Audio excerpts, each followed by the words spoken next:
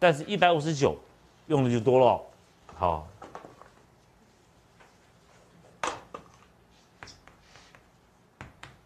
啊，几乎所有经方的药呢，在我刚刚讲上经、在中经跟下经可以找到。葛根一百五十九，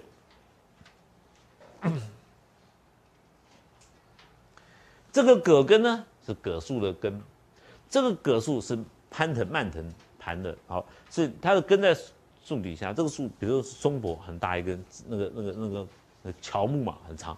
那个葛根的根呢，生在这个树底下，它必须要攀着树木这样往上升，才能升得很高。好，那你想想看，它到那个树梢，它那个长了树梢，而它它那个树梢的地方到可能有十几丈，到那个根那样有十几丈，那个根的力量强不强啊？它就把下面水吸上来，吸吸吸吸吸到顶上去，你说它强不强？就是我们要利用它这个性，就葛根的性，能够生津，好，能够生它的经验，好，那。这个葛葛根呢，这个好，这个江浙一带很多好，这个花叫葛花，好，这个籽叫葛谷，好，根呢制粉叫葛粉，导致名叫葛汁，好，通通可以入药，好，使用的东西很多。我们使用经方使用最多的就是葛根，好，就是那个树的根，好，切片，风干以后晒干以后切片就可以了，好，那。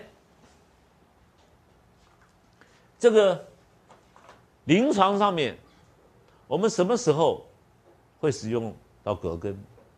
哦，病人告诉你，老老师我脖子好硬好难过，向强强硬的时候，就是葛根了，就已经是葛根了，啊，因为向强你脊椎骨一根叫脊椎骨，到了象这边膀胱经在这边两条筋下来的时候，就导好像很多经络呢缠到了督脉一直上来到顶了，到顶这个地方，所以向强是葛根的。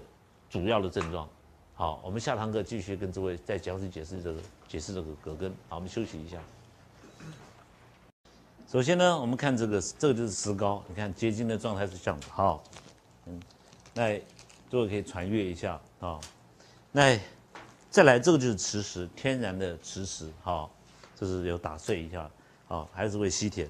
好，那这是就是磷水石，好，磷水石。就是我们讲的产的这个盐卤田，好铁盐田的底下，好，那这个就是阳起石啊，阳起石。那这个精髓类的药，我讲过，我们都把它药用的时候，就像一块一块的石头，我们把它打碎一点，比较好煮嘛，打碎了把它放放到棉布包里面去煮哈。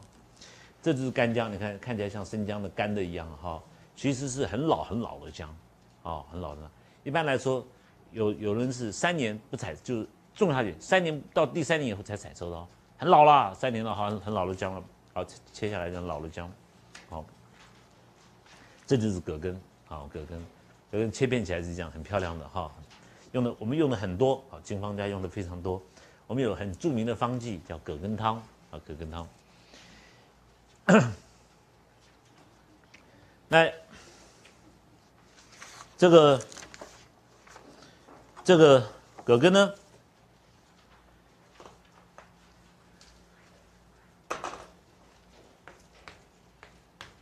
第一个组织的就是向强，脖子硬，啊，这个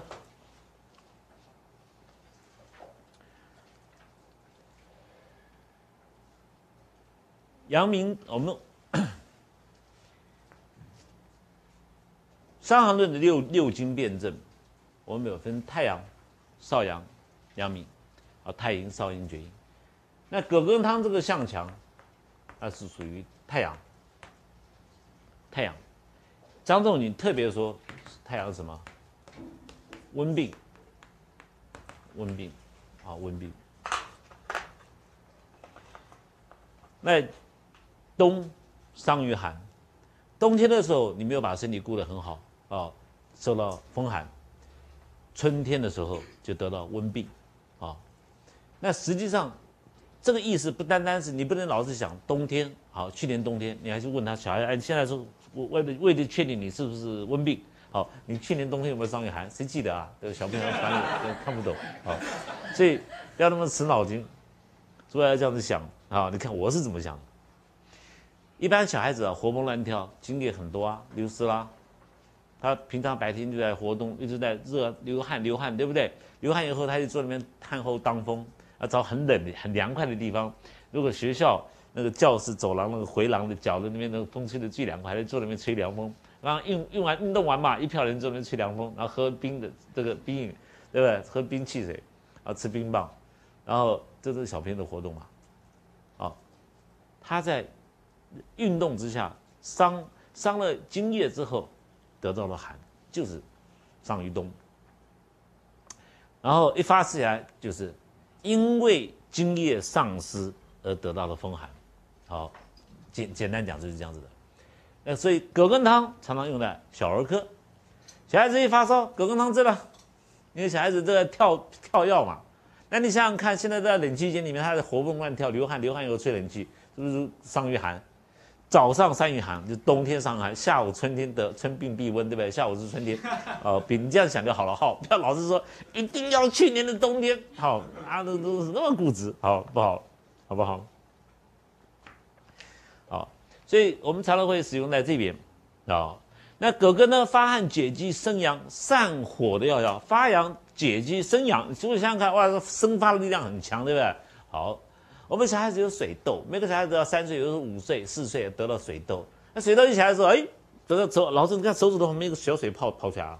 好，水痘中医认为说这种胎毒嘛，发展出来，有时候一两颗出来的时候，好，那开始那个闷烧，就是烧啊，三十八、三九闷闷闷烧，烧的不退，那不退难过啊，一个你烧不退就没办法上学啊，一个礼拜也没办法上课。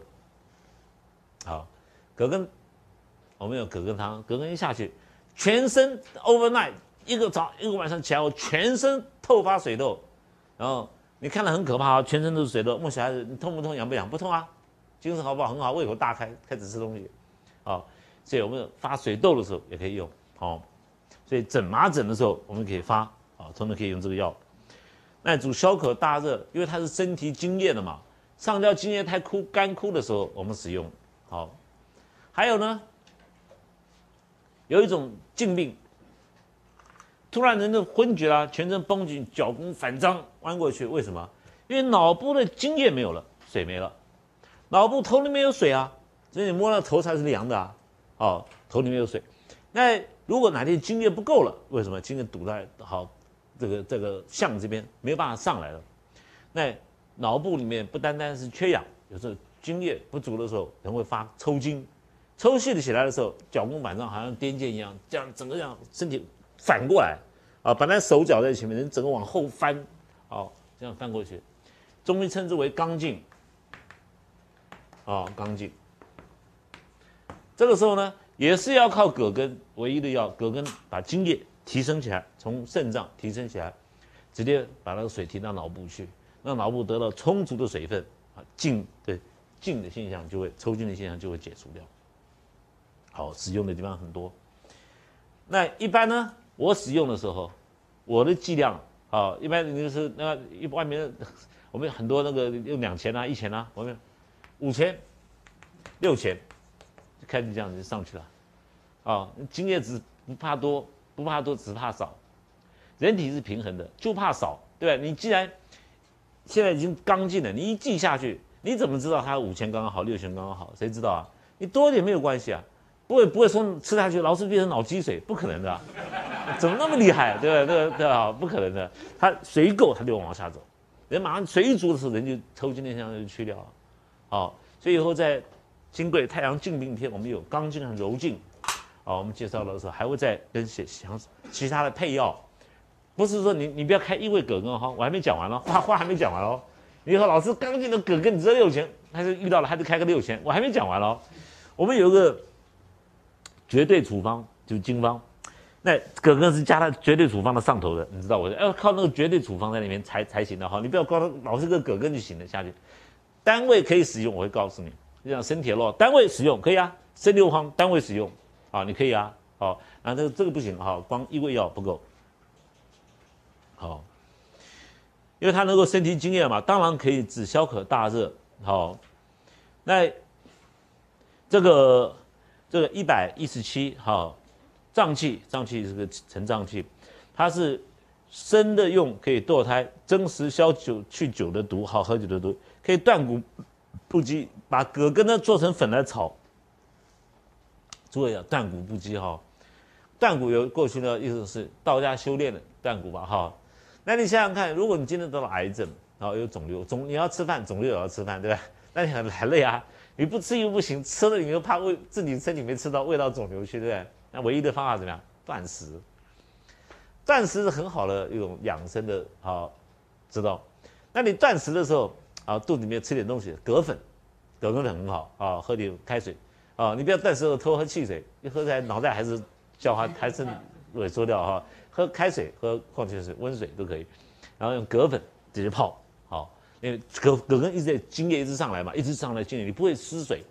我们断食的时候最怕是什么？最怕是失水脱水。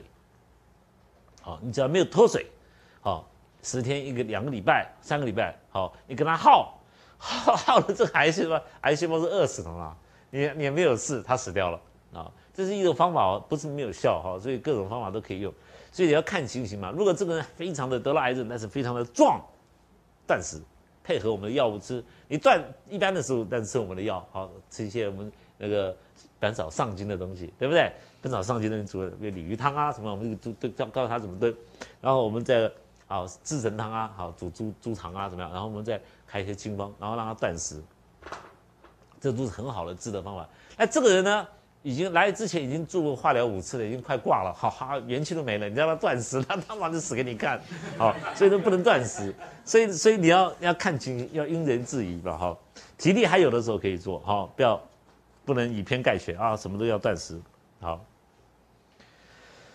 好，那这个唐龙川，好，那个唐龙川之前苏公这个这个治狗讲的就是那种。熬去那疯狗，路上的疯狗之类的，好，狗咬伤啊，那狂犬病都可以使用葛根，好，用新鲜的葛根捣汁来敷在外面。唐龙川解释的最好，啊，这个经方家解释的最好，讲那个药性，好，他葛根的生，好，诸位看唐龙川解释的最后一行中间那边，他葛根的根比较实，里面很扎实，好，所以生津，津液会往上升，不生气。所以你看那个葛根，它轻轻的在密密很密，有没有？它生津液，它不生气。像生麻哦，像是我们身体的药物很多，生麻也是，但里面空的哦，里面是空的，所以生麻呢有孔道能行气，所以生麻是生气不生津，好，也就是说有个人来跑来找你，哎呀，医医生我很口渴，你开个生麻鸡同鸭讲，不会倒，对葛根倒了，哦，但我们后面还有更好的，还有很好的，有 有一点不一样，好，所以它这个是一个生气，一个是生津，好，药蒸，好，所以。日本的经方家，他把经方，因为经方是绝对处方，所以他把它简化。你看哈，东东吉他说主治向背强，旁子喘而汗出。你只要听到一个人说向强，你就可以用葛根了，就结就结束了。哦，不要等到说已经开始向强，你再考虑要不要用葛根，就那个越来越抽，越来越抽，往后抽 啊！哎呀，是现在需要了，人家已经不会讲话了。哦，你知道太对不对？哦，向强就可以用了。好，那这是第一个。那第二个。有汗无汗，啊？问他，哎，你那个感冒啊，有汗呐？呃，无汗有汗，有汗已经已经可以用葛根了，啊，无汗是麻黄之之类的。为什么？因为它是它是得之于表虚的时候嘛。比如就是所以得之于表虚，就是你道小孩子在运动在玩的时候流汗，对不对？表是不空的，表是张开的。这个时候中到了风寒，就是得到得之于表虚的哦病啊，葛根汤就是这个病。哦，好，那这个这个。后面呢，这个再来再过来，诸位看到吴克俭，吴克俭是经方家，好，认为葛根是解热之剂。那麻黄呢，解太阳表邪，好，桂枝解营和，啊，营卫啊，这个这个所谓表实呢，就是毛孔闭锁，整个毛孔闭塞住。我们会用到麻黄，后面会讲麻黄，好，就是表实。表怎么实？我们在介绍麻黄的时候再跟诸位细讲。桂枝的时候解营卫。好，因为就肌肉之间的问题，葛根呢？好，这边好，太阳针它桂枝汤治葛根，好治表治那个这个表虚，葛根呢是主发汗，太阳入阳明的阶段，好，太阳入阳明的，那三个有不一样的地方，那诸位在这里看一下，大概有个概念就好了，因为我们在伤寒都会讲的很详细，一开始我就在讲这三个处方，桂枝汤、麻黄汤、葛根汤。一开始，好，开宗明义，我们就在讲这三个方子。这里我们不用细讲，因为我们在介绍《神农本草经》。好，后面我把它解释一下，让诸位了解一下伤寒家跟温病家。好，温病派说这个伤寒家哈，因为他们不懂温病，他那个张仲景哈没有到过南方江南这边来啊，没有看过湿热的地方，他不晓得我们南方没有寒症，怎么会有伤寒呢？啊，所以张仲景不懂，所以所以这个经方里面没有温病啊，这个这这因为张仲景不懂经不懂温病嘛，因为他没来过南方。实际上，张仲景写的葛根汤就是温病的第一方。哈，我们介绍伤寒论的时候就可以看到这个哈。这样会很精彩哦，好不好？我们又又换屁人，现在很多在外面排队，哦。